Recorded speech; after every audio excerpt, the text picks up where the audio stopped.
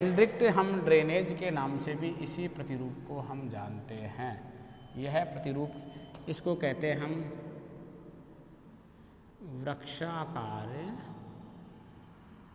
अपवाहा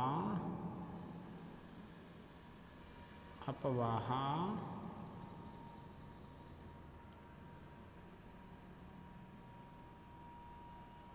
वृक्षाकार, अपवाह प्रतिरूप। कौन सा प्रतिरूप है? वृक्षाकार अपवाह प्रतिरूप के नाम से भी हम इसको क्या करते हैं? हम जानते हैं, ठीक है ना? तो ये देखने पर कैसा दिखाई देता है? इसका एक बार नोट में और देख लो। अच्छा है फैक्ट शानदार है ये।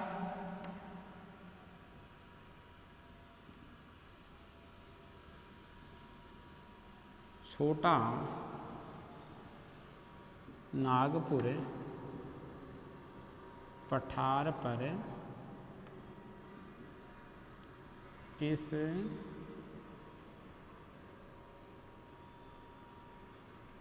इस प्रकार के प्रतिरूप ही। इस प्रकार के प्रतिरूप ही। दिखाई दिखाई पड़ते हैं। कौन से प्रकार के प्रतिरूप, यानी जो छोटा नागपुर का पठार है, वहाँ पर कौन से प्रतिरूप दिखाई देते हैं अपने पास में? वहाँ पर दिखाई देते हैं, यानी हम बात करें वृक्षाकार प्रकार के प्रतिरूप। कौन से प्रकार के प्रतिरूप? वहाँ पर हमारे को दिखाई देते हैं जो वृक्षाकार प्रकार के प्रतिरूप हैं, उन्हीं की हम आपसे क्या कर रहे हैं? उन्हीं की हम आपसे बात करना चाह रहे थे, जो वृक्षाकार प्रकार के प्रतिरूप हैं, उन्हीं के मैं आपसे बात कर रहा हूँ। अब मुख्य रूप से हम बात करते हैं, जो यांगटी सिकियांग नदी है। इस यांगटी सिकियांग नदी के बारे, जिसकी बात हमने आपसे की है, उसी नदी की मैं आपसे चर्चा कर रहा हूँ, जिसकी डिटेल आपके सामने उपलब्ध है। उस डिटेल को आप ध्यान से वॉच करिए। आप उसको ध्यान से देखिए कि यह नदी किस प्रकार से, यानी वृक्षाकार अपवाह का निर्माण करती है, किस प्रकार से यह नदी वृक्षाकार जो अपवाह होती है, इस अपवाह का निर्माण करती है। और उसी के साथ साथ यदि हम बात करते हैं, जो वृक्षाकार अपवाह है, इसी के साथ साथ ये नदी अपने पानी को कहाँ लेकर के जाती है, मैं आपसे बात करूँ कि जो हमारा पूर्वी चीन सागर है, देखिए मैं यहाँ रेड लाइन से मैं आपसे बात करना चाह रहा हूँ। यदि मैं ये गहरी जो रेड लाइन जो जो जो मैं ले रहा हूँ, आप इस रेड लाइन से, आप इस रेड लाइन के आधार पर चलिए। देखिए, ये जो मैं रेड लाइन लेकर के जा रहा हूँ यहाँ पर, देखिए आप, यह जो रेड लाइन है, मैं इस रेड लाइन की आप लोगों से बात करना चाह रहा हूँ। इस रेड लाइन की, ठीक है ना, जिसको मैं गहरी कर रहा हूँ, मैं जिसको गहरी कर रहा हूँ, ये देखिए आप, यह नदी जो हमारे पास में आई है, जिस नदी की हम आपसे बात कर रहे हैं तो यह नदी जो हमारे पास में आई है, इस नदी का नाम है हांगहो नदी। कौन सी नदी? इस नदी को हम कहते हैं हांगहो नदी। कौन सी नदी कह रहे हैं? इस नदी को हम हांगहो नदी के नाम से जानते हैं। कौन सी नदी के नाम से जानते हैं? हम इसको हांगहो नदी के नाम से जानते हैं। ठीक है जी? हम बात करें हांगहो नदी की आपसे। तो यह है नदी जो हमारे पास में आई है, जिसकी हम आपसे बात कर रहे हैं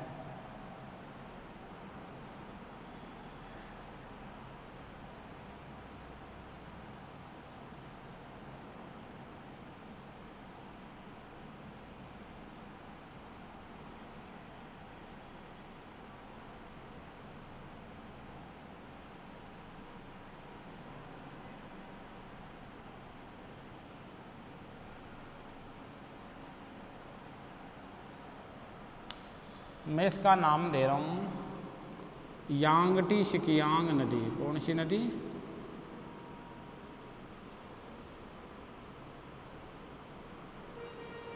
यांग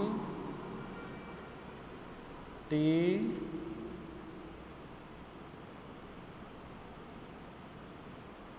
शिकियांग।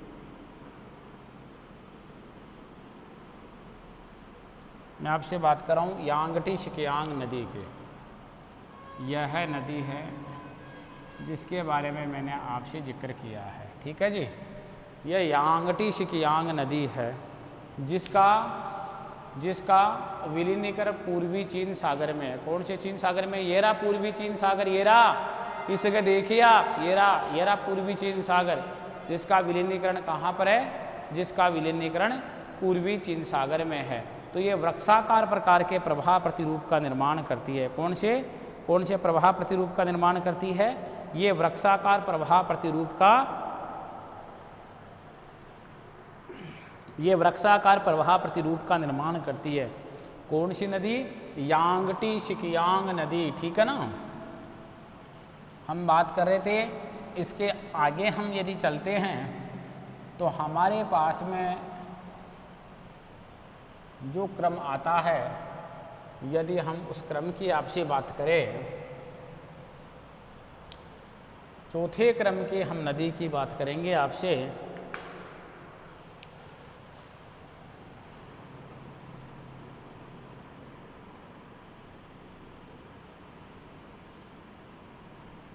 अपवाह क्रम है ये। ये इरेज हो गया मैं इसको वापस रख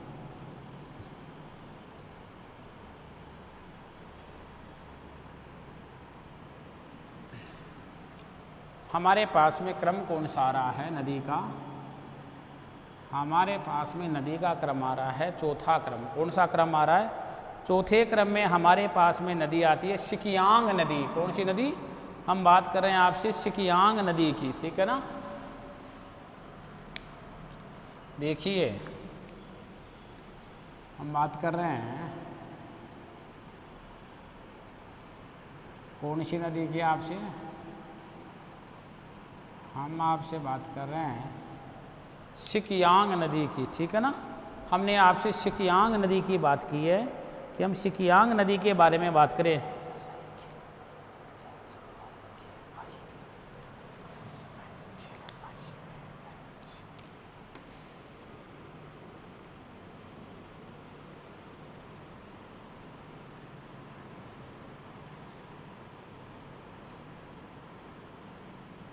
देखिए, हम आपसे बात करते हैं जो हमारे पास में जो जो जो नदी आई है, वो बात कर रहे हैं हमें।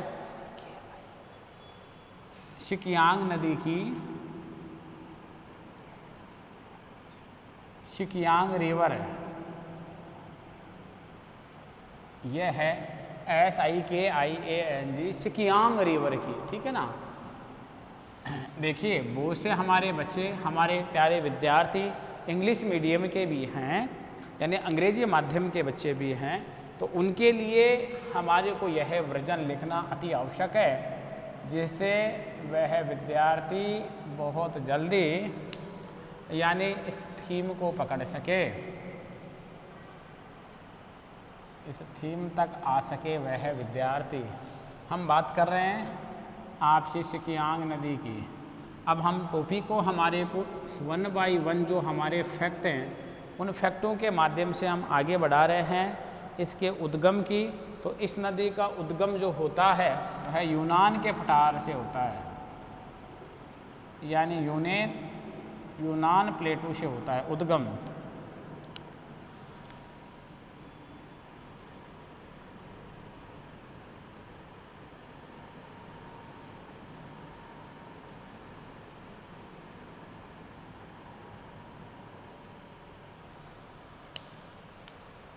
यूनान पठार से। यूनान पठार से, कौन से पठार से होता है? यूनान के पठार से होता है। विलीनीकरण दक्षिणी चीन सागर में होता है। कौन से सागर में होता है? दक्षिणी चीन सागर में जाकर के इस नदी का विलीनीकरण होता है। यदि मैं आपसे विलीनीकरण की बात करूँ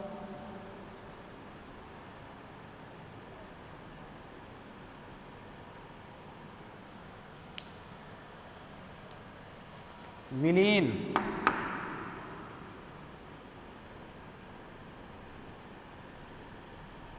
सी नदी शिकियांग नदी। विलीन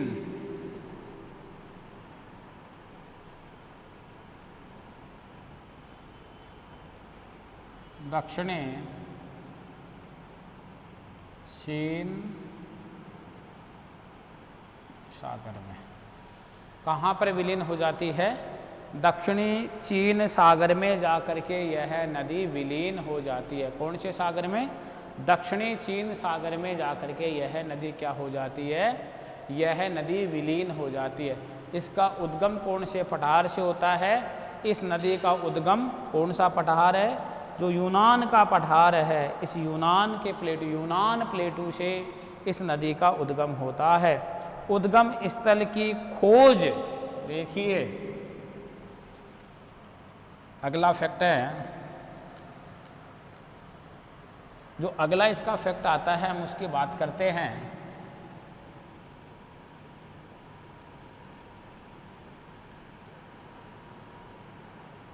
उद्गम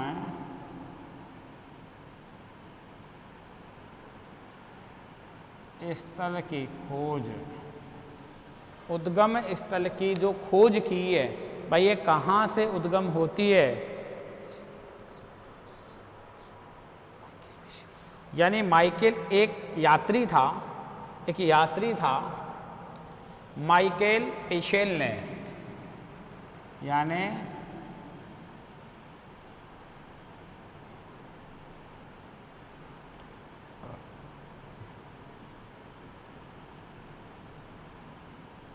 माइकेल पेशेल ने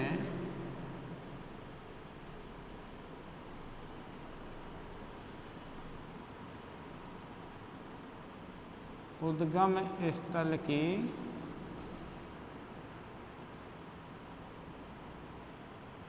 खोज की थी। किसकी खोज की थी? उद्गम स्थल की खोज की थी। ने ने, उद्गम स्थल की खोज की थी। किसकी खोज की थी? उद्गम स्थल की खोज की थी कि इस नदी का उद्गम कहाँ से होता है। यानी जो इस नदी का यूनान के पठार से उद्गम हो रहा है, उसकी अपन बात करते हैं। इस नदी के अपन उपनामों की बात कर लेते हैं। कौन से नाम? इस नदी के उपनाम। देखिए, इस नदी के उपनामों की अपन बात करें तो उपनाम हमारे पास में इस नदी के किस किस उपनाम से इस नदी को जाना जाता है? जाचू तिब्बत में कहते हैं इसको। पहला उपनाम आता है जाचू। जाचू के नाम से इस नदी को कहाँ पर जाना जाता है? तिब्बत में। ठीक है जी? अगला जो तिब्बत में इसको किस नाम से जाता है? जाचू के नाम से। लेकांग जियांग। ठीक है ना? देखिए आप। लेकांग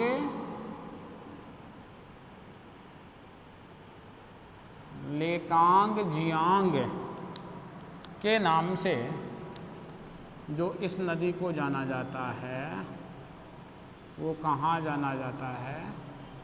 इसका लेकांग जियांग का जो नाम है, वो कहाँ पर है?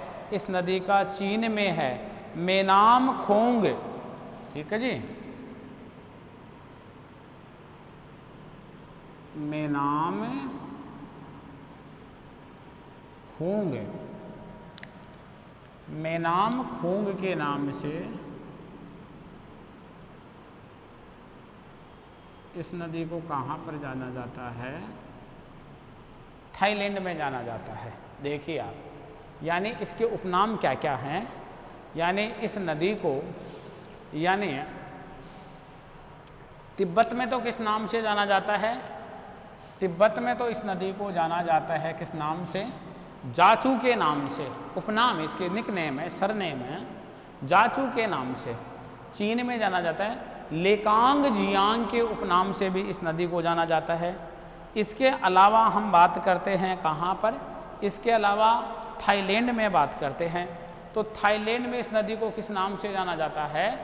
थाईलैंड में इस नदी को जाना जाता है मेनांग खूंग के नाम से। किस नाम से जाना जाता है? मेनांग खूंग के खूंग के नाम से कौन सी नदी को जाना जाता है? मेनांग खूंग के नाम से जिस नदी को जाना जाता है, वह नदी हमारे पास में कौन सी नदी है? वह नदी हमारे पास में सिकियांग नदी है। कौन सी नदी है? सिकियांग नदी है। इस ही सिकियांग नदी को ही किस नाम से जाना जाता है? इस ही सिकियांग नदी को ही इस नाम से जाना जाता है।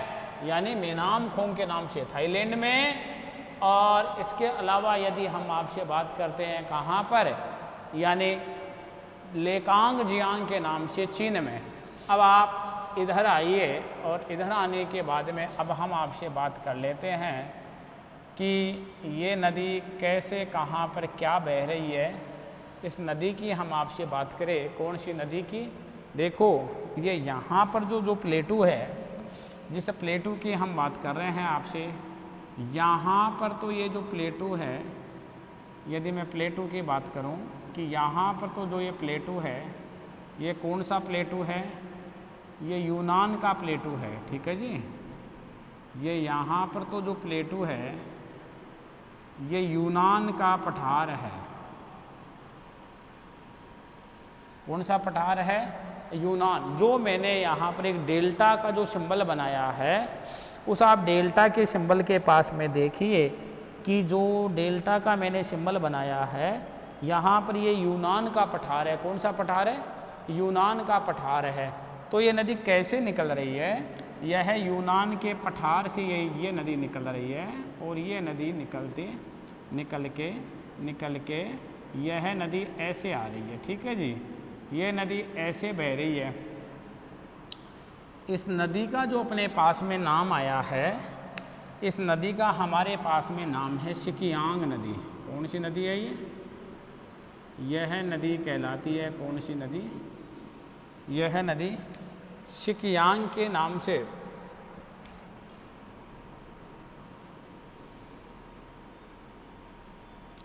सिकियांग के नाम से जानी जाती है। ये जो पठार है, ये पठार कौन सा है? यह यूनान का पठार है। ठीक है जी? और ये यहाँ पर है। जिस जगह की मैं आपसे बात कर रहा हूँ, यह हमारे पास में दक्षिणी चीन सागर। मैं कौन से सागर की बात कर रहा हूँ आपसे? मैं आपसे बात कर रहा हूँ दक्षिणी चीन सागर की। ठीक है? मैं यहीं लिख देता हूँ।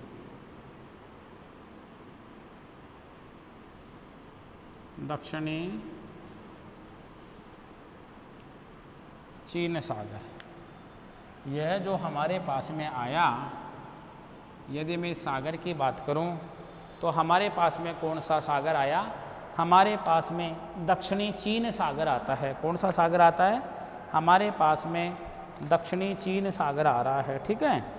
तो हमारे पास में चौथे क्रम की जो नदी आई, वह चौथे क्रम की नदी कौन सी है हमारे पास में? यानी चौथे क्रम की नदी है सिकियांग नदी, यूनान के पठार से उद्गम। दक्षिणी चीन सागर में जाके विलीन हो जाते हैं। माइकल पेसेस ने इसके उद्गम स्थल को खोजा है। कौन से? यानी किस नदी के उद्गम स्थल को खोजा है? यानी हम बात कर रहे हैं कि सिकियांग नदी के उद्गम स्थल को जो खोजा है, वो किसने खोजा है? वह खोजा है माइकल पेशेल ने। हम इसी प्रशांत महासागर के क्रम को हम आगे बढ़ा रहे हैं और यदि हम आगे वाले क्रम की बात करते हैं तो हमारे पास में जो अगली नदी आती है, उस नदी की यदि हम बात करते हैं तो हमारे पास में वह नदी आती है मिकांग नदी, यानी अर्थात नेक्स्ट क्रम हमारा पांचवा होगा, जो भी क्रम है। शायद हमारे पास में पांचवा क्रम आ रहा है। तो पाँचवें क्रम की हम नदी की बात करें तो मिकांग नदी आ रही है हमारे पास में। कौन सी नदी आ रही है? मिकांग नदी।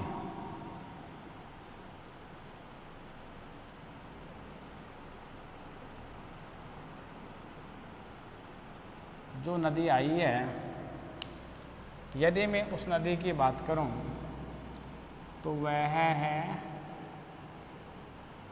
हमारे पास में जो नदी आई उस नदी के मैं आपसे बात करता हूँ। वह नदी आ रही है मिकोंग रिवर।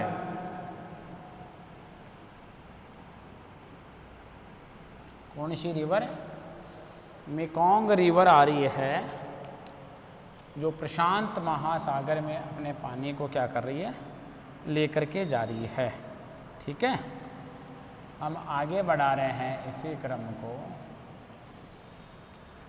और इसी क्रम को यदि हम आगे बढ़ाएँ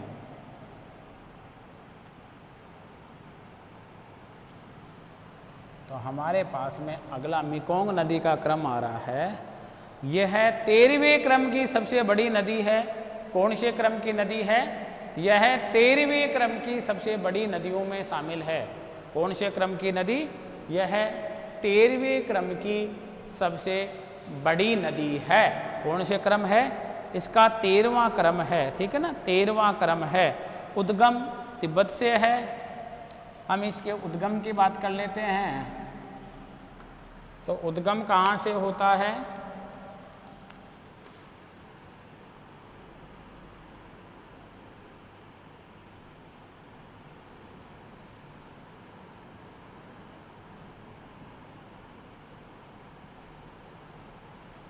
उद्गम कहाँ से होता है?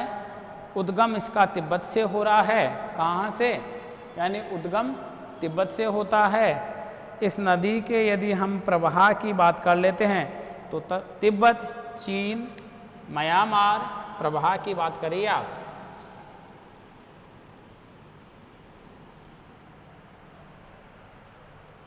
प्रवाह, देखिए आप प्रवाह को।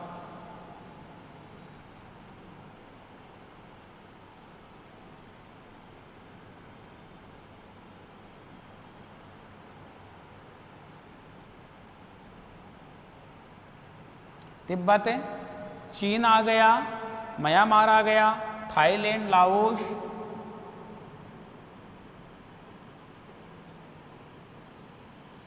Myanmar.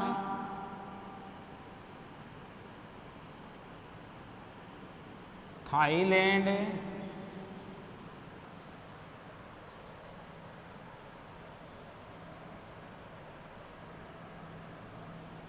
Laos.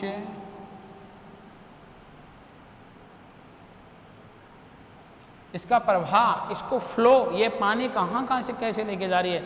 तथा कंबोडिया में। तथा कंबोडिया।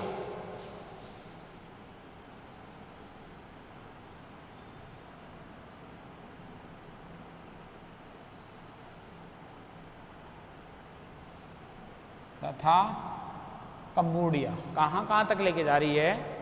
देखो, तिब्बत में, चीन में तिब्बत में, चीन में, म्यांमार में, जो म्यांमार है, थाईलैंड में, लाओस में और कम्बोडिया आदि देशों तक इस नदी का क्या है? इस नदी का प्रभाव देखने को मिलता है, ठीक है ना? यदि मैं इस नदी के लंबाई की बात करूँ तो 4350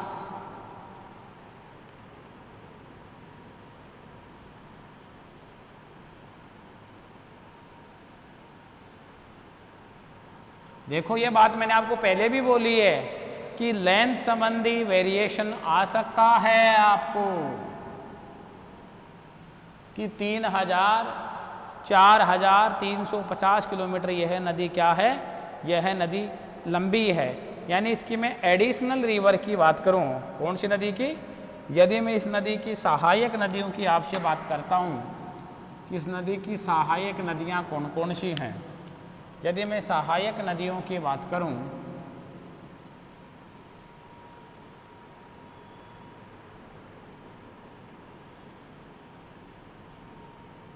कौन सी नदी की? मैं मिकांग नदी की सहायक नदियों की बात कर रहा हूँ कि इसकी एडिशनल रिवर कौन सी है? Red Irrawaddy Salween. रेड नदी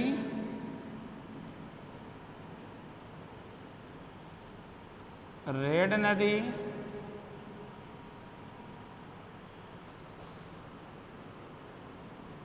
इरावदी नदी।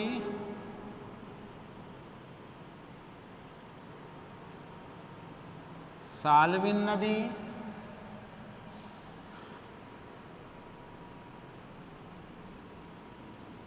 और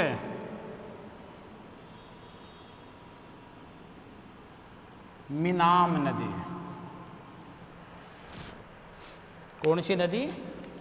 और मिनाम नदी। ये इस नदी की क्या हैं? इस नदी की प्रमुख सहायक नदियाँ हैं। क्या हैं? इस नदी की प्रमुख क्या हैं? इस नदी की प्रमुख सहायक नदियों में शामिल हैं। कौन सी नदियों में शामिल हैं?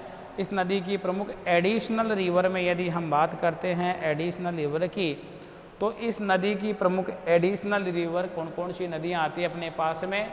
रेड नदी आती है इरावदी नदी आती है इरावदी नदी के साथ साथ सालवी नदी आती है और सालवी नदी के साथ साथ हमारे पास में कौन सी नदी आती है? यानी मिनाम नदी भी इसकी सहायक नदियों में शामिल होती है, ठीक है? बहाव में अनियमितता अगला फैक्ट है इसका। बहाव फ्लो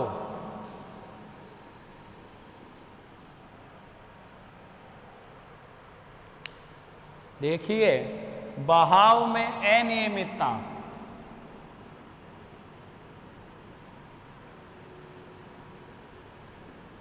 बहाव में बहाव में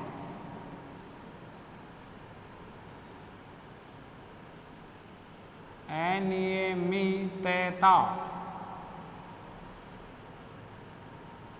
यानी बहाव में, फ्लो में बहाव में अनियमितता तथा जलप्रपातों के कारण तथा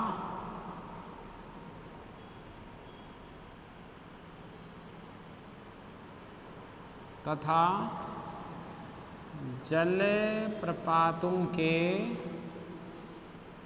कारण बहाव में अनियमितता तथा जल प्रपातों के कारण, किसके कारण? जल प्रपातों के कारण इसका अधिकांश भाग, इसका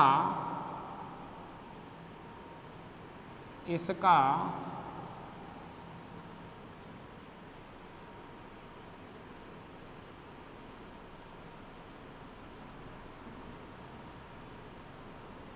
अधिकांश भाग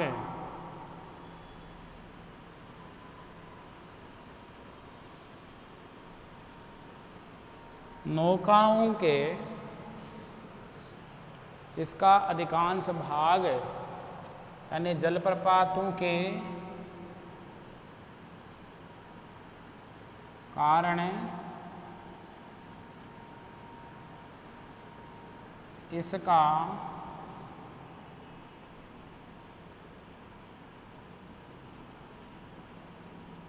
अधिकांश भाग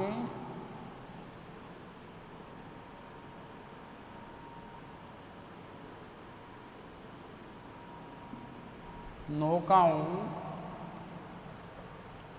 नौकाओं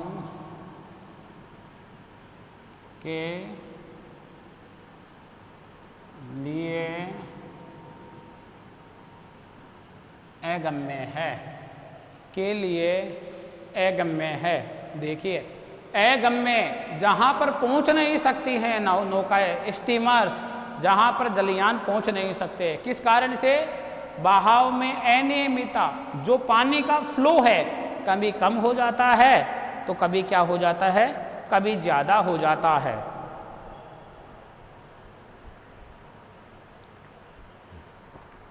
कभी पानी का फ्लो कम हो जाता है तो कभी पानी का फ्लो क्या हो जाता है? कभी पानी का फ्लो ज़्यादा हो जाता है। तथा उसी के साथ साथ हम आपसे बात करें, तथा जल प्रपातों के कारण, यानी पानी का ऊपर से नीचे की ओर तेज गति से गिरना, पानी का पहाड़ी क्षेत्र से नीचे की ओर तेज गति से गिरना जलप्रपात के नाम से वाटरफॉल के नाम से जाना जाता है।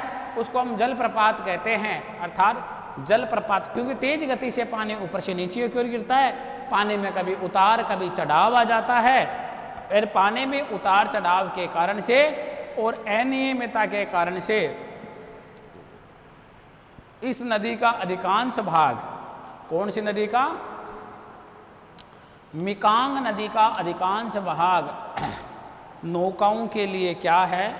नौकाओं के लिए अगम्य है। क्या है? नौकाओं के लिए अगम्य है। इस कारण से हम मुख्य रूप से बात करें कि यह नदी, यानी यह नदी, यानी प्रोफेशनल रूप से यदि हम बात करते हैं तो प्रोफेशनल रूप से यह नदी क्या नहीं है? यह नदी उपयोगी नहीं है। क्यों नहीं है उपयोगी? इसलिए उपयोगी नहीं है कि एक में एक तो पानी का बहाव कैसा रहता है? इस नदी में पानी का बहाव अनियमित रहता है। जब पानी का बहाव अनियमित रहता है, और एक इसमें अधिक संख्या किसकी है? एक इसमें अधिक संख्या किसकी है? एक अधिक संख्या इसमें जलप्रपातों की है। तो जलप्रपातों की अधिक संख्या के कारण से, एक तो जलप्रपातों की अधिक संख्या के कारण से, और एक हम बात कर रहे हैं आपसे किसकी? एक हम आपसे बात कर रहे हैं। यानी जलप्रपातों के कारण और अनियमितता के कारण से यह नदी, यानी जहाँ पर, यानी कॉमर्शियल यूज़ कर सकते हैं, व्यावसायिक उपयोग जलयानों के लिए कर सकते हैं, उपयोग नहीं हो पाता है। तो आज हमने जो प्रशांत महासागरीय जो अपवाह क्रम की बात की, उनमें हमने मुख्य मुख्य नदियों के बारे में बात की और उन्हीं मुख्य मुख्य नदियों के अपवाह क्रम को हमने आगे बढ़ाया। आगे हम जो बात कर रहे हैं आपसे, वह आगे हमारे पास में नंबर दो, जो हमने इस क्रम को प्यारे विद्यार्थियों हम जो आपसे बात करने जा रहे हैं तो हम बात अभी तक जो कर रहे थे, वो एशिया महाद्वीप की किसकी कर रहे थे? एशिया महाद्वीप के अपवाह क्रम की आपसे हम बात कर रहे थे। जब एशिया महाद्वीप के अपवाह क्रम की हम आपसे बात कर रहे थे तो हम आपसे बात करें अभी कि ऐसी नदियाँ जो अपने पानी को कहाँ लेकर के जाती हैं ऐसी नदियाँ जो अपने पानी को प्रशांत महासागर में लेकर के जाती हैं, चाहे वो हो ओकोटक सागर हो, चाहे वह नदी यानी जापान सागर हो, चाहे वह नदी पीला सागर हो, चाहे दक्षिणी चीन सागर हो, चाहे वो किसी भी सागर में लेकर के जाती हैं, लेकिन वो सारे किसके पार्ट्स हैं? प्रशांत महासागर के भाग हैं, जहाँ यानी वह नदियाँ किसी न किसी रूप में अपने पानी को प्रशांत महासागर में लेकर के जाती हैं। उन नदियों के क्रम को जो हमने आपसे बात की, उन नदियों के क्रम के बारे में हम आपसे बात करना चाह रहे हैं।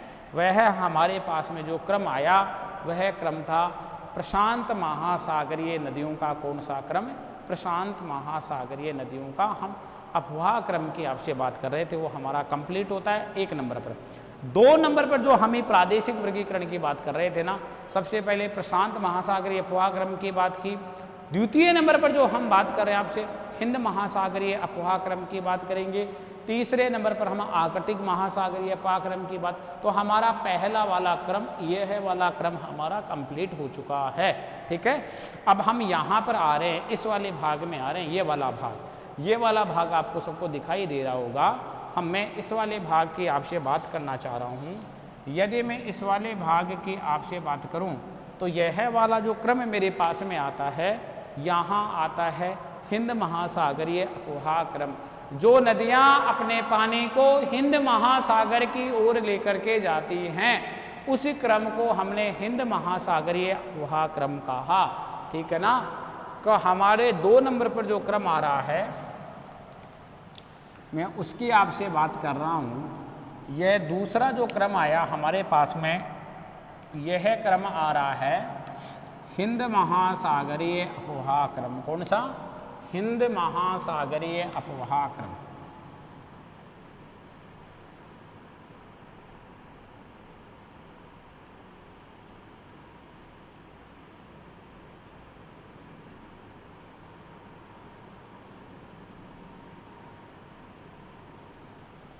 हिंद महासागरीय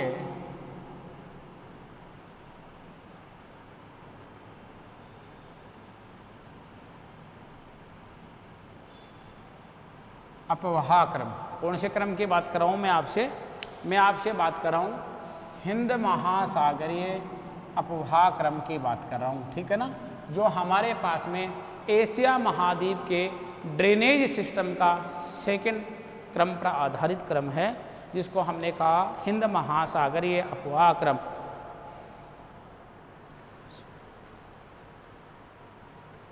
फैक्चुअल बातें करते हैं हम आपसे कि कौन कौन सी फैक्चुअल बातें हैं, कौन से की? हिंद महासागरीय अपवाह क्रम की। तो हिंद महासागर के अपवाह क्षेत्र देखिए।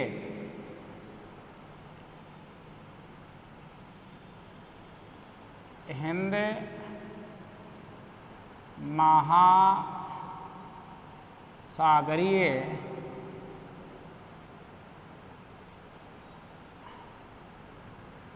अपवाह क्रम हिंद महासागरीय कौन सा? हिंद महासागरीय अपवाह क्रम मैं कौन से अपवाह क्रम की बात कर हिंद महासागरीय अपवाह क्रम पश्चिम में दजला फ्राद के उद्गम से लेकर पश्चिम में पश्चिम में पश्चिम में दजला फ्रात के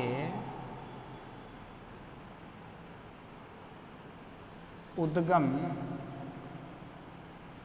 से लेकर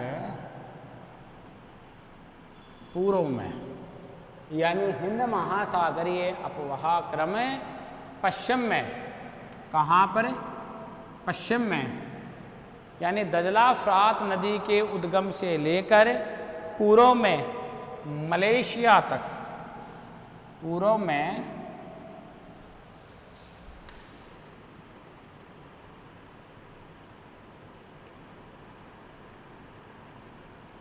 मलेशिया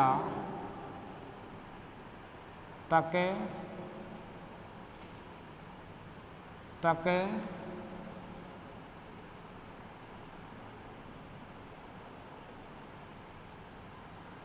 विस्तृत है। देखो आप डायरेक्शन की बात कर रहे हैं। हम दिशाओं की आपसे यहाँ पर बात कर रहे हैं। किसकी बात कर रहे हैं? हम आपसे दिशाओं की बात कर रहे हैं। एक दिशा तो पूरब आ रही है और दूसरी दिशा हमारे पास में पश्चिम आ रही है। इसका मतलब मैं पूरब की और पश्चिम की बात करूँ। यदि मैं आपसे पूरब दिशा की बात करता हूँ, यदि मैं आपसे पूरब दिशा की बात करता हूँ तो मेरे पास में जो पूरब दिशा आ रही है, इसे पूरब दिशा में तो ये कहाँ तक चला गया? ये पूरब दिशा में तो मलेशिया तक चला गया है। कहाँ तक चला गया? ये पूरब दिशा में तो जा रहा है मलेशिया तक, ठीक है ना? ये पूरब दिशा में तो चला गया मलेशिया तक। हम बात कर रहे हैं मलेशिया की, ठीक है ना? तो ये पूर्व दिशा में तो चला गया है मलेशिया तक। ये देखो, यहाँ तक आइए आप, ये रहा। इस जगह की मैं बात कर रहा हूँ आपसे, यानी मैं आपसे बात कर रहा हूँ मलेशिया की, ठीक है?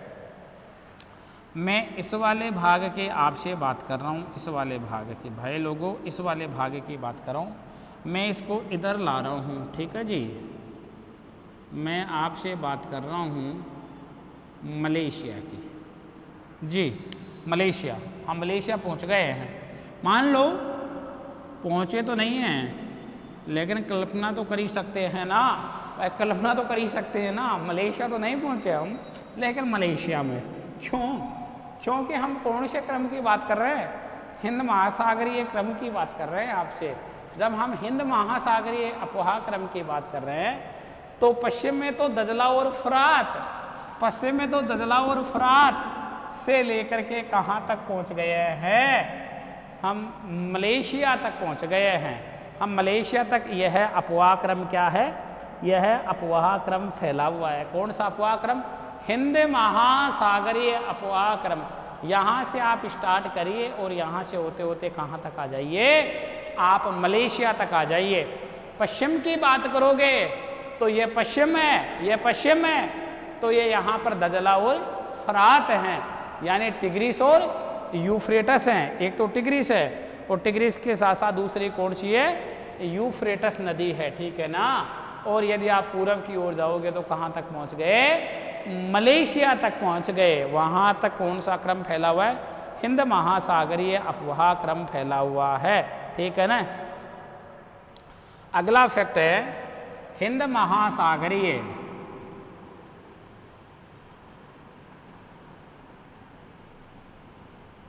हिंद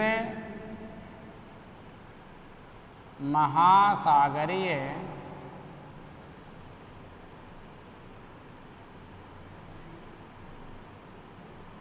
अपवाह क्रम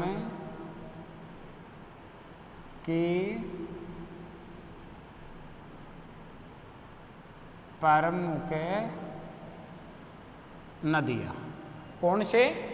हिंद महासागरीय अपवाह क्रम की जो प्रमुख नदियाँ हैं, यदि मैं उनकी बात करूँ, दजला, फरात, सिंधु, गंगा,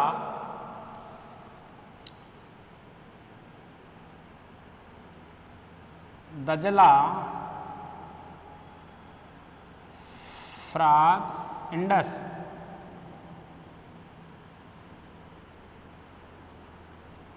सिंधु गंगा, देखो, दजला, फ्रात, सिंधु, गंगा, इसी के साथ साथ ब्रह्मपुत्र, आदि प्रमुख। ब्रह्मपुत्रा।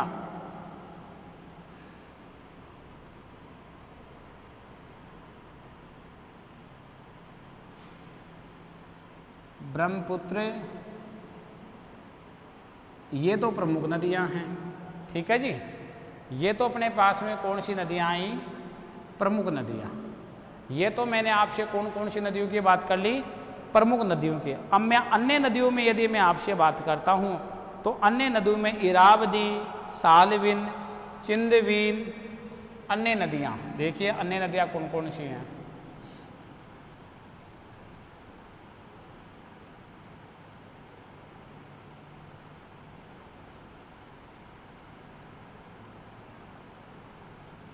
देखिए, इरावदी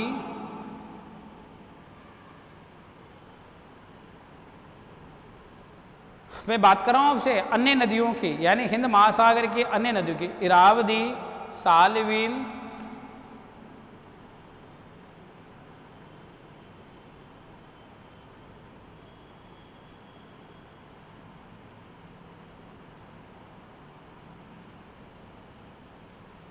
चिंदवीन, यानी मैं अन्य नदियों की भी इसी के साथ साथ मैं आपसे बात कर रहा हूँ। चिंदवीन, गोदावरी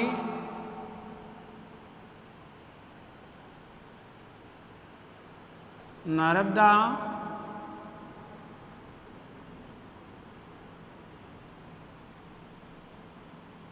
ताप्ती कृष्णा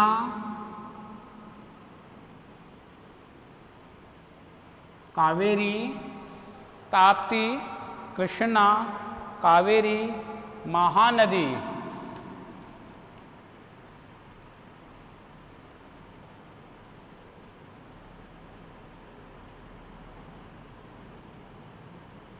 आदि। ये अन्य नदियाँ हैं। हमने बात कौन सी नदियों की कर ली? हमने बात की है। एक तो आपसे हमने बात कर ली यानी हिंद महासागर के अफवाह क्रम की प्रमुख नदियाँ। एक तो हमने बात की आपसे प्रमुख नदियों की। तो जो हमारे पास में जो प्रमुख नदियाँ आई हैं, कौन सी नदियाँ आई हैं? जो प्रमुख नदियाँ आई हैं। यदि मैं इन प्रमुख नदियों की बात करूँ आपसे तो प्रमुख नदियों में मेरे पास में नदियाँ शामिल होती हैं, एक तो दजला नदी, टिग्रिस, यूफ्रेटस, दोनों नदियाँ, ठीक है ना? जो बसरा से अल बसरा के पास से निकल रही हैं। इंडस नदी गंगा नदी और ब्रह्मपुत्रा। इसके अलावा अन्य नदियाँ भी, ये तो मेजर रिवर है ही हैं, लेकिन अदर रिवर्स की मैं बात करूँ, मैं अन्य नदियों की आपसे बात करता हूँ। मैं इस दूसरे वाले क्रम की आपसे बात कर रहा हूँ। मेरे पास में कौन सा क्रम आ रहा है? मेरे पास में सेकंड वाला ऑर्डर आ रहा है। सेकंड ऑर्डर आ रहा है, देखिए आप। अन्य नदियों में इरावदी, सालवीन, चिंदवीन, गोदावरी, नर्मदा, ताप्ती, कृष्णा, कावेरी और महानदी। आदि में आपसे नदियों की बात कर रहा ये कौन सी नदियों में शामिल है? आदि नदियों में शामिल है। अगला फैक्ट अगला फैक्ट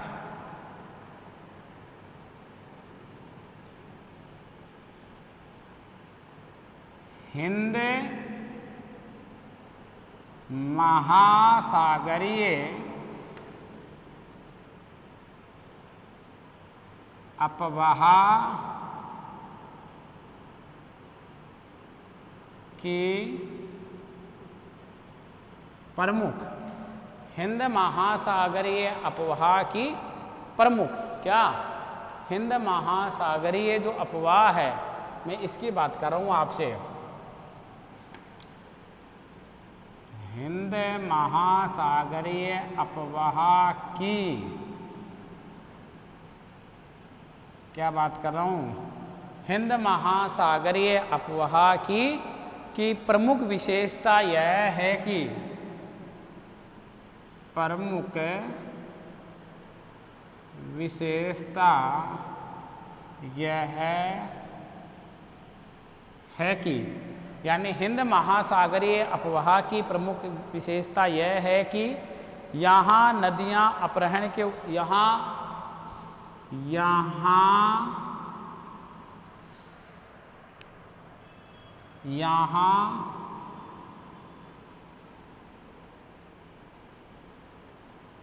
नदी अपहरण यहाँ नदी अपहरण।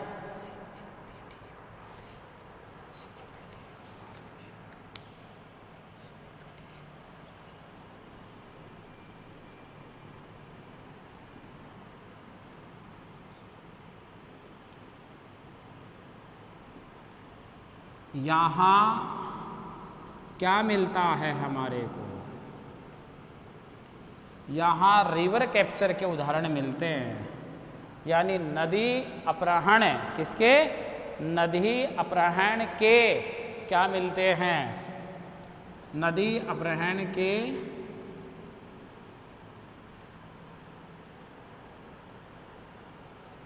उदाहरण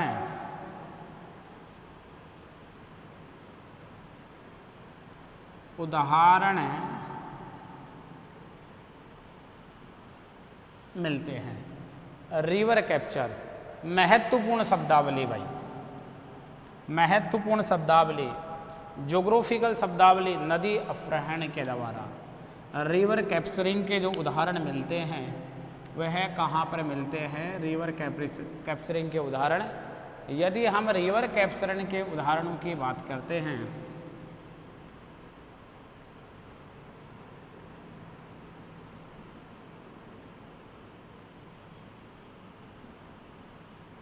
यदि हम रिवर कैप्चर के उदाहरणों की बात करते हैं तो हिंद महासागरीय अपवाह क्रम में जो हमारे पास में दूसरा क्रम आ रहा है, जो हमारे पास में दूसरा क्रम आया, वह क्रम कौन सा है? हिंद महासागरीय अपवाह क्रम इस हिंद महासागरीय अपवाह क्रम में जो उदाहरण देखने को मिलते हैं, वह उदाहरण कौन से हैं? वह उदाहरण हमारे पास में आते हैं। रिवर कैप्चरिंग के उदाहरण। यानी बड़ी नदियों के द्वारा छोटी नदियों के मार्ग को अडोप्ट कर लेना, ग्रहण कर लेना। यानी जो मुख्य नदियाँ होती हैं, उन मुख्य नदियों के यानी मुख्य नदियों के अपवाह क्षेत्र के पास में भी छोटी नदियाँ बहती हैं, जो एडिशनल रिवर होती हैं। तो मुख्य नदी के द्वारा धीरे धीरे धीरे धीरे अपनी सहायक नदी के मार्ग से भी बहने लग जाना, उसके मार्ग को भी अपने आप में समाहित कर लेना। इस प्रकार का जो पारिभाषिक शब्दावली है, इस प्रकार की जो पारिभाषिक शब्दावली है, इस प्रकार की पारिभाषिक शब्दावली को हमने क्या कहा है? इस प्रकार की पारिभाषिक शब्दावली को हमने कहा है रिवर कैप्चरिंग यानी मुख्य नदियों के द्वारा या बड़ी नदियों के द्वारा, छोटी नदियों के मार्ग को अपने में मर्ज कर लेना, अपने में समाहित कर लेना। यानी अपने में मर्ज कर लेना, अपने में समाहित कर जाना, या छोटी नदियों के मार्ग का मुख्य नदी या बड़ी नदी में समाहित हो जाना और धीरे धीरे उस छोटी नदी के मार्ग का वहाँ से विलुप्त हो जाना। इस प्रकार के जो उदाहरण देखने को मिलते हैं, इस प्रकार के उदाहरण हिंद महासागरीय जो अपवाह क्रम है, उस हिंद महासागरीय अपवाह क्रम में ही देखने को मिलते हैं। वह हिंद महासागरीय अपवाह क्रम है, उस अपवाह क्रम में रिवर कैप्चरिंग के उदाहरण भी पाए जाते हैं। तथा उदाहरण के तौर पर मैं बात करूँ रिवर कैप्चर का जो एग्ज़ाम्पल आ रहा है हमारे पास में, जो हमारे पास में रिवर कैप्चर आया, यदि मैं इसके एग्ज़ाम्पल की आपसे बात करता हूँ तो मेरे पास में दो महत्वपूर्ण नदियाँ आती हैं एग्ज़ाम्पल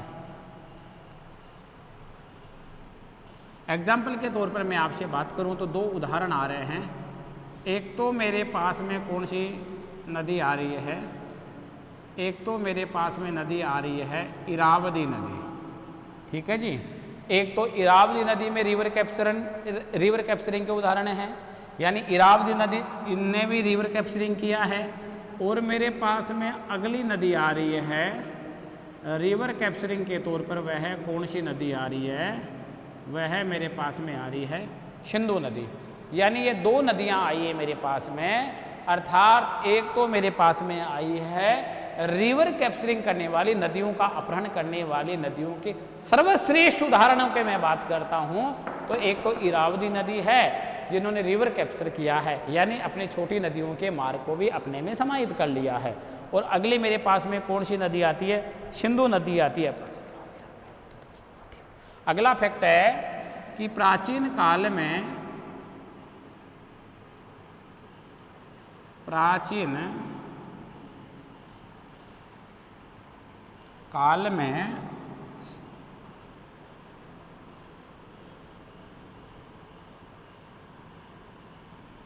उत्तर दक्षिण, प्राचीन काल में उत्तर दक्षिण घाटी में बहने वाली नदी का उत्तर दक्षिण घाटी में बहने वाली नदी का, यानी प्राचीन काल में उत्तर दक्षिण घाटी में बहने वाली नदी का सिंधु नदी ने अपहरण किया था। बहने वाली नदी का कौन सी नदी ने अपहरण किया था? यानी सिंधु नदी ने।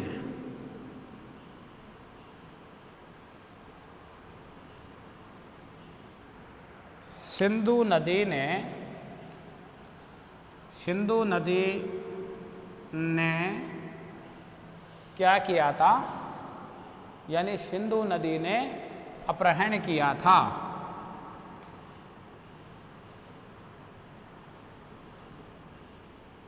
अपहरण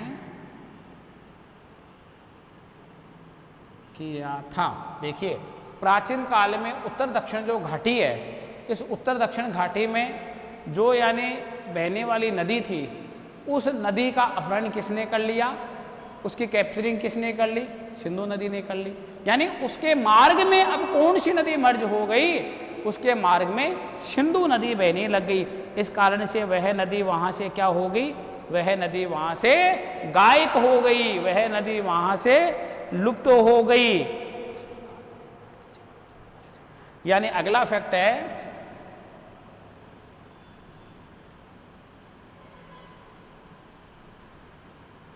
आज भी आज भी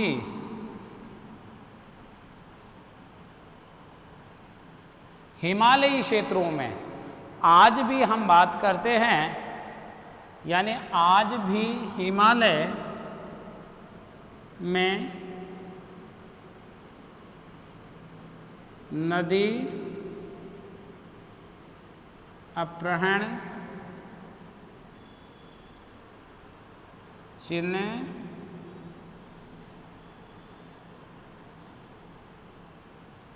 दृष्टिगोचर होते हैं। यानी आज भी हिमालय में नदी अपहरण चिन्ह दृष्टि गोचर होते हैं। किसमें? यानी इस प्रकार के जो उदाहरण, जो हिमालय से निकलने वाली नदियाँ हैं। यानी हिमालय का मतलब हो गया, हिमालय से उद्गम होने वाली नदियाँ। यानी जिन नदियों का उद्गम कहाँ से हो रहा है? जिन नदियों का उद्गम हिमालय से हो रहा है तो हिमालय से जिन नदियों का उद्गम हो रहा है, यानी हिमालय से उद्गम होने वाली नदियों ने क्या किया है? हिमालय से उद्गम होने वाली नदियों ने मुख्य रूप से, यानी यानी नदियों का अपहरण करने का कार्य किया है, रिवर कैप्चरिंग करने का जो कार्य किया है, वह आज भी किया है। अगला फैक्ट है। दक्षिण भारत के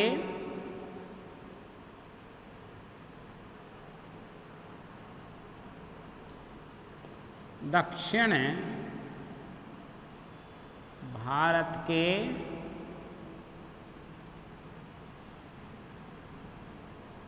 प्रायद्वीपीय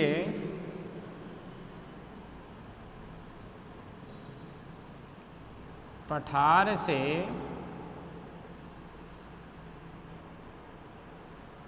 निकलने वाली नदियाँ, यानी दक्षिण भारत के प्रायद्वीपीय पठार से निकलने वाली नदियाँ मार्ग परिवर्तन की अपेक्षा, यानी मार्ग परिवर्तन नहीं कर रही हैं। मार्ग मार्ग परिवर्तन, मार्ग परिवर्तन की अपेक्षा, यानी दक्षिण भारत के प्रायद्वीपीय पठार से निकलने वाली नदियाँ मार्ग परिवर्तन की अपेक्षा, घाटियों को गहरा करने में लगी हुई हैं।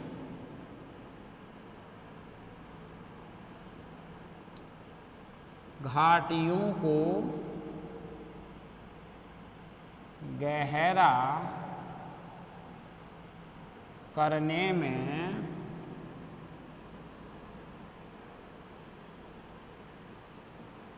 लगी हुई हैं।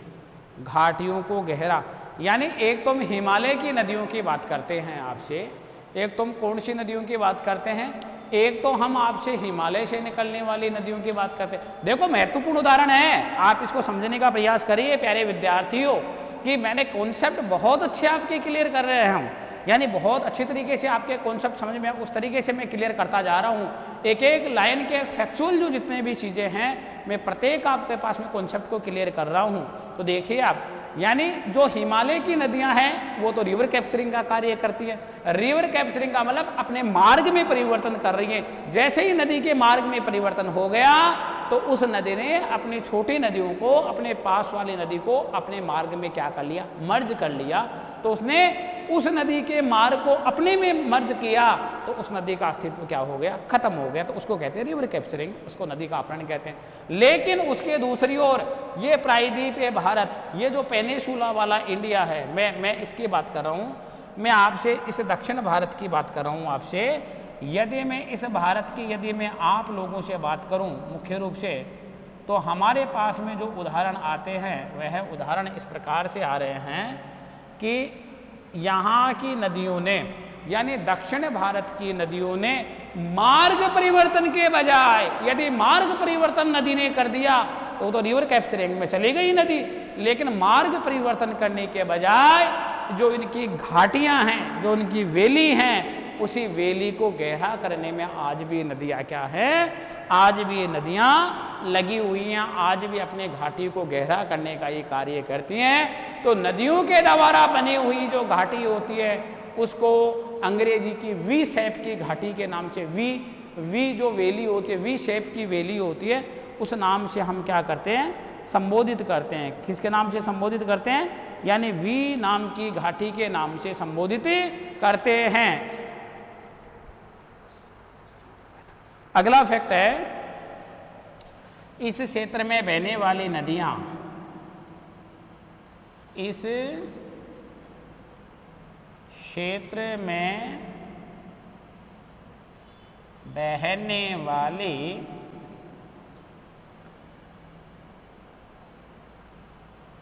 नदियों का महत्व इस क्षेत्र में बहने वाली, इस क्षेत्र में बहने वाली नदियों का महत्व, इस क्षेत्र में बहने वाली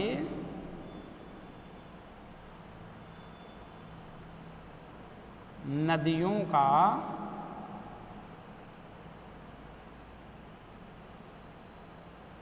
महत्व, कृषि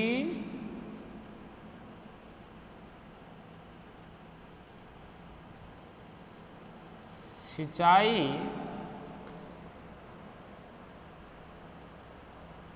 आदि में है। कृषि सिंचाई आदि में है। किसमें है?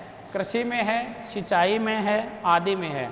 यानी इस क्षेत्र में, यानी जो हिंद महासागरीय जो नदियाँ हैं, उन हिंद महासागरीय नदियों के मैं आपसे बात कर रहा हूँ। इन नदियों का जो महत्व है, हम मुख्य रूप से बात करें। तो इनका महत्व किस किसमें है? इन नदियों का महत्व है। एक तो कृषि में और कृषि के साथ साथ किसमें है? सिंचाई में इन नदियों का प्रमुख महत्व है। यानी कृषि के साथ साथ सिंचाई में भी महत्व है। मैं आपसे बात कर रहा था इस क्षेत्र की। इस क्षेत्र के मैं आपसे बात कर रहा हूँ। तो यहाँ बहने वाली दजला है, फरात है, सिंधु है, इंडस है। गंगा है, ब्रह्मपुत्र है, इरावदी, सालवीन चिंदवीन गोदावरी, नर्मदा, कृष्णा, कावेरी, ताप्ती, महानदी। मैं आदि नदियों की आपसे बात कर रहा हूँ। इससे मिलकर के जो हमारा जो जो ड्रेनेज जो पैटर्न तैयार हुआ है, उसी ड्रेनेज पैटर्न को ही हमने किसमें शामिल किया है? हमने शामिल किया है हिंद महासागरीय अफवाह क्रम। कौन सा अफवाह क्रम में शामिल किया है? हमने शामिल किया है हिंद महासागरीय अफवाह क्रम के रूप में। हमने इस क्रम को शामिल किया है। प्यारे विद्यार्थियों, आज हम एशिया महाद्वीप के अफवाह क्रम को हमने प्रशांत महासागर की ओर जल ले जाने वाली नदियों की बात कर ली। दूसरा जो हमारा क्रम आया, वो हिंद महासागर का अफवाह क्रम आया। तो हिंद महासागर के अपवाक्रम क्रम की नदियों की जो हमने बेसिक जानकारी थी, वो सारी बेसिक जानकारी हमने प्राप्त कर ली है। जब भी हमारी नेक्स्ट क्लास होगी तो नेक्स्ट क्लास में मात्र हम हिंद महासागर की नदियाँ ही पढ़ेंगे प्रमुख। वो कौन कौन सी नदियाँ हैं जो हिंद महासागर की ओर अपने पानी को लेकर के आती हैं। फिर हम इसको उन नदियों को कंप्लीट करके हम आगे की ओर चलेंगे। तो आगे की ओर जब भी हम चलेंगे तो हमारे पास में तीसरा क्रम आ जाएगा। तो तीसरे क्रम के रूप में हम आकाटी क्रम पढ़ लेंगे। उसके बाद में हम यानी आंतरिक यानी आंतरिक अपवाह क्रम पढ़ लेंगे और इसके बाद में हम भूमध्य सागरीय अपवाह क्रम पर मिला करके और हम एशिया महाद्वीप के अपवाह तंत्र को क्या कर देंगे? ख़त्म कर देंगे। सभी विद्यार्थियों को मेरी ओर से बहुत बहुत धन्यवाद। ठीक है, हम नेक्स्ट क्लास में फिर मिलते हैं। इसी समय।